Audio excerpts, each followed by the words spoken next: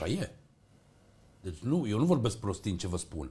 Noi vor, și, după, și în timp ce suntem în capitalism. Atunci erau finanțările care existau pe structură de stat.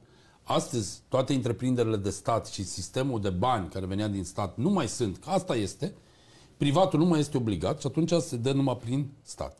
Dar este anormal într-un sport capitalist să ai clubul să aparțină Federației de Gimnastică sau să fie afiliat la Federația de Gimnastică.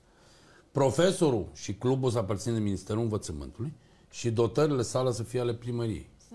N-a nicio logică. Clubului, adică cumva ceva Și, de au, genul. și, și este o chestie logică, pentru că au fost probleme când antrenorul a încălcat regulamentul, mă rog, federația l-a schimbat, l-a sancționat și a intervenit, domnule, dar de ce l-ai sancționat? Că nu-i parte a ta, e partea Ministerului Învățământului. Adică lucrurile astea trebuie o descentralizare a lor. Trebuie să revină din punctul meu de vedere la nivel de județ, prin UAT-uri, prin primării, să aparțină de primărie cluburile astea și chiar să te oblige ca primărie să susții sportul de masă. Ceea ce încercăm acum să facem. Dar pentru asta îți trebuie baza materială. Dar să fie obligat atâta la sută din uh, buget trebuie să meargă către sport, către infrastructură și către întreținere. Și atunci tu ai la nivel de copii, pentru că pe mine asta mă interesează. Noi vorbim de handbal basket. Așa să este. știți că eu nu sunt de acord atât cu ce se întâmplă aici. Eu aș prefera să am mai multe secții. Nu am avut eu puterea să hotărăsc la club. M-ar interesa să am secții mai multe la clubul sportiv. Constanța, știți că are un buget de uh, 50 de milioane și are 20 ceva de secții. M-ar interesa să am și badmintonul, să am și scrima, să am și luptele, să am și boxul, cum aveam pe vremuri la UMT, este, așa este. la CFR. Erau cluburile Vedeți, noastre, bazele da? astea sportive noi le-am pierdut, Le-am domnul pierdut, Tabără. păi Da, știu. Le-am și pierdut, atunci domnul eu Tabără, asta, și asta canotajul- înseamnă că am pierdut și sportiv. Canotajul și eu atunci astea trebuie să le aduc la club. Și atunci decât să dau un salar de 6-7 mii de euro la un jucător, ca- ce performanțe avem noi? Asta bun, asta cum adunați să spuneți de perioada când a fost... uh, Nu, eu spun de toate perioadele. Vi se pare normal ca Brăila, la handbal, să poarte primăria Brăila și Consiliul Județean Brăila să ai două, trei jucătoare din Brăila, restul totul uh, străin, dacă aduce valori, dar aduci Totul sportiv de străin, mâna da. a doua, a Asta treia. înseamnă mercenar, aduci de domnul mâna, Tabără. Da, înseamnă incompetență managerială. Pentru că să- aduci sportiv de mâna a doua și tre- adu 2-3 cu care ridici nivelul ca să dai speranță copiilor și de tinere că poți să joaci.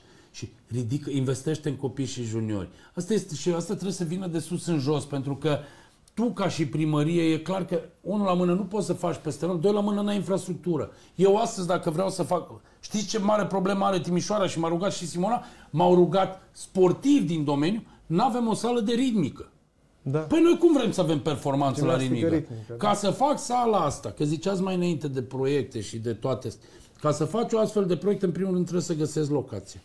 Locația aia trebuie în pu- puz cum e, să aibă utilități, să, uh, scot, să o bugetez, să o scot la licitație studiu de fezabilitate, să aprob studiul de fezabilitate în Comisia Tehnică Economică după ce am obținut avize, să îl trec în uh, Consiliul Local, să scol la, li- să-l bugetez, să scol la licitație proiect tehnic și execuție, să ai și banii, asta este foarte important, și abia apoi dai drumul. De când ai dat drumul, începe proiectul tehnic care durează luni de zile și o reavizare. O să vedeți la Dan Păltinișanu. Acum s-a organizat licitația. Domnul Până Tabără, se să face știți, cu Dan selecție. Pătinișanu au fost foarte mulți care au zis că mulți au zis în cât timp va fi gata stadionul, unii au zis 4 ani, unii 8 ani de zile. Acum Vreți să vă vom- spun un secret cu Dan Păltinișanu? Vom vedea- În 2022 a fost deblocat proiectul împreună cu sala polivalentă de către o delegație care a plecat din Primăria Timișoara și Consiliul Județean, inițiat de mine și cu conducerea CNI-ului, unde am mers cu arhitectul șef de la Timișoara, arhitectul șef de la